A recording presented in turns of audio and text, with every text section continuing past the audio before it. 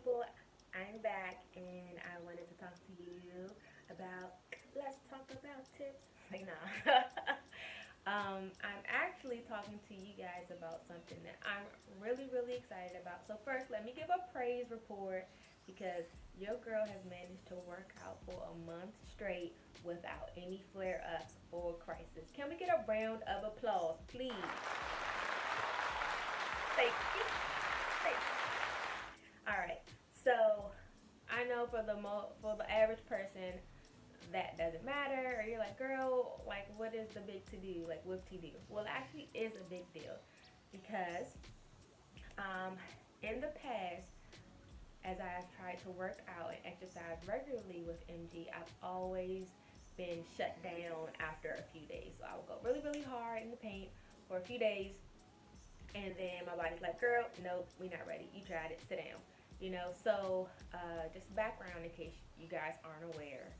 Um, I was diagnosed with MG and one of the first things that my doctor said was cancel that gym membership sis because it ain't happening.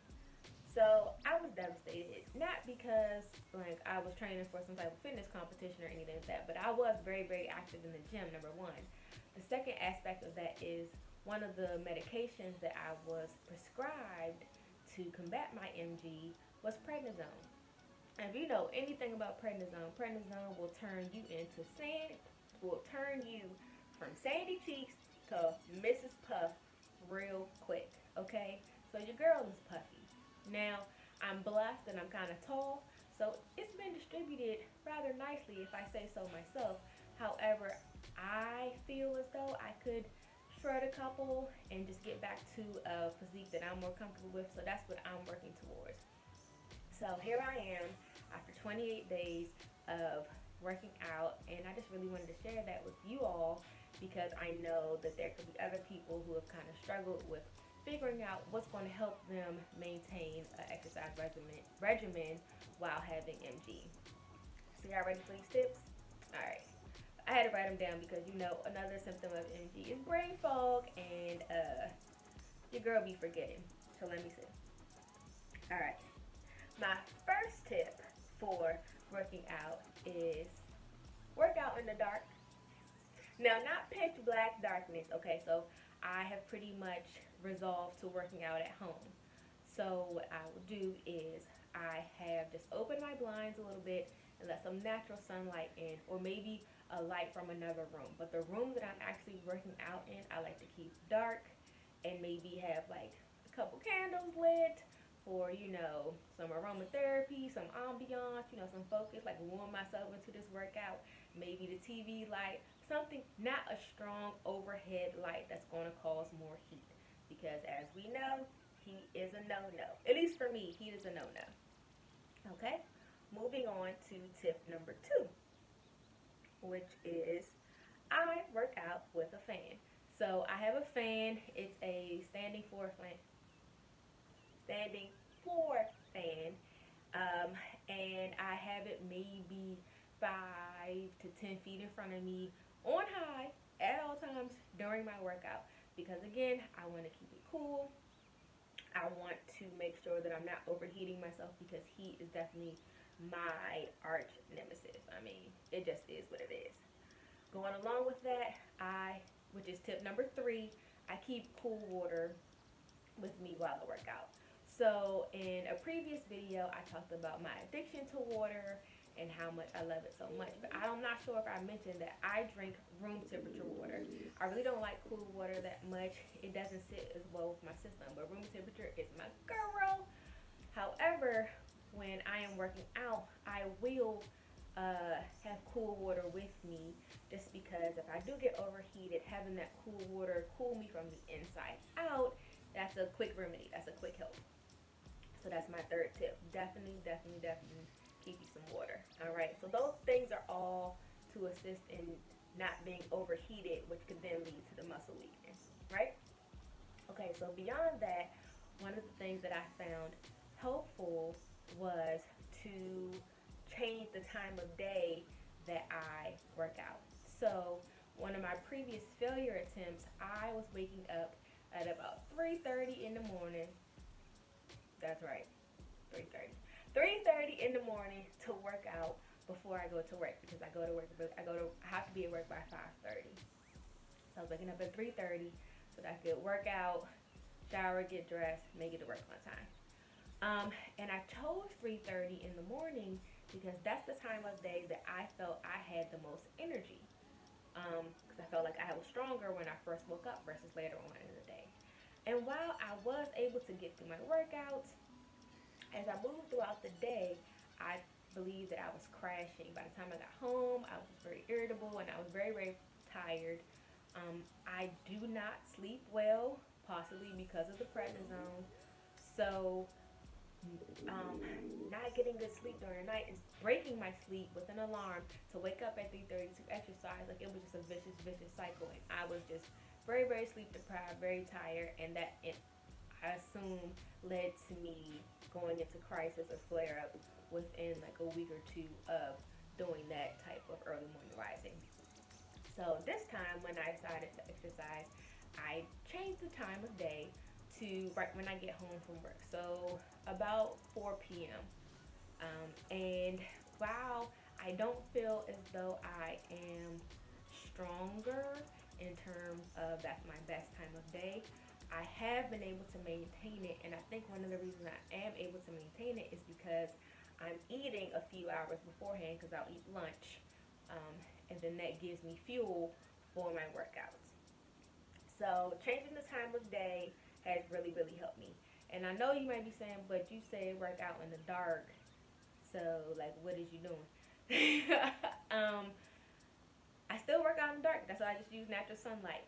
I'm not sure how some of these tips will work for those of you who like to work out in an actual gym facility versus working out at home. But this is what I do when I'm at home, and I have a lot more flexibility. If you want to work out in the gym, if you get there early enough in the day, because I used to go to Gold at like 3:30 in the morning, and there will be no one there, and I can go into some of their rooms and dim the lights a little bit, or turn the fans on high, do certain things that would make it conducive for me.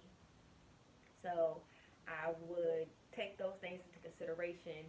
Um, if you're an avid gym, avid gym visitor, maybe you want to schedule your workouts not only taking into consideration when you're the strongest, but taking into consideration the crowds because the more people that are in the gym, the hotter it's going to be.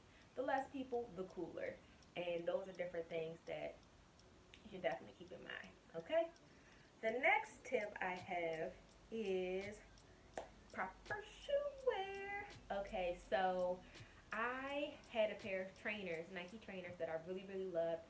And if you know anything about like working out or just training, most people do use training shoes. The soles are a bit different and that helps with like form and different things of that nature. However, I had to ditch my trainers because they weren't, I wasn't, it didn't feel right. Like I was hurting when I was doing certain moves in those shoes. So I had to get a shoe with a different cushion and a different level of support. And that has definitely helped me uh, maintain working out without causing damage or hurting myself or my joints or my muscles and the different impacts that's having.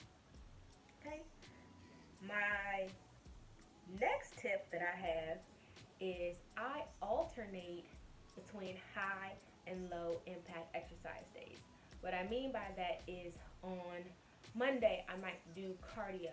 And then Tuesday, I'll do yoga and stretch.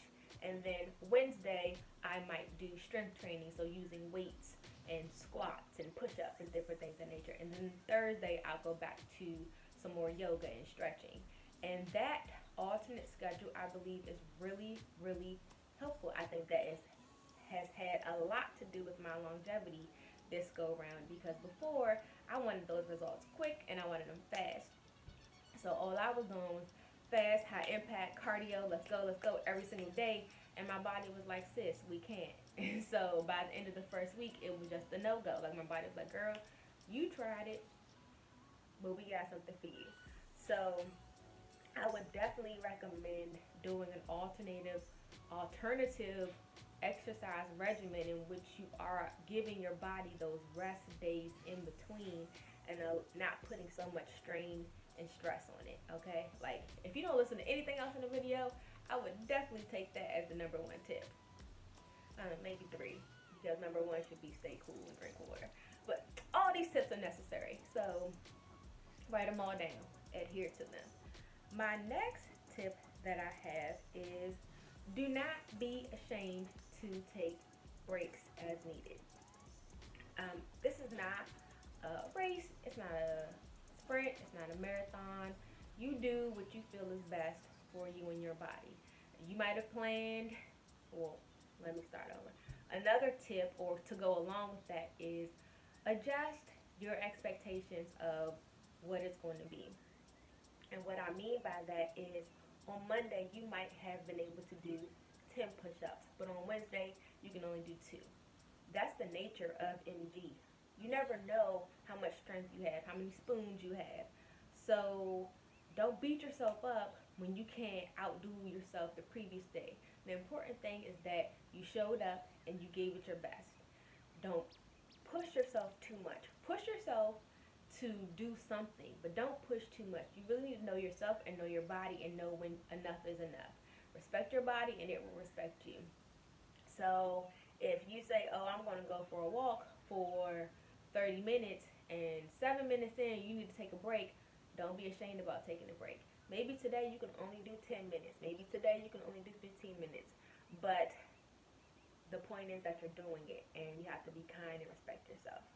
So those are my tips. Um, if y'all want a quick recap, let me go through it. Let me make sure I hit them all. Work out in the dark. Keep a fan nearby. Keep some cool water with you. Wear proper shoes. Um, exercise at the time of day in which you feel as though you have most energy or that works best for your schedule. Alternate high and low impact days. Take breaks as needed and remember that your performance can vary from day to day. So, those are my tips. I hope you like them. I hope that you can incorporate them into your uh, workout regimen as you're exercising with MG. And if you have some other tips that has worked for you in your workout regimen, please drop them below because I am trying to be snatched by, well, I would have preferred to have some abs by last year, but it's a work in progress. But I love to hear you guys' workout stories, your victories, your trials, your triumphs, and we're going to do this together. All right, see you guys next time.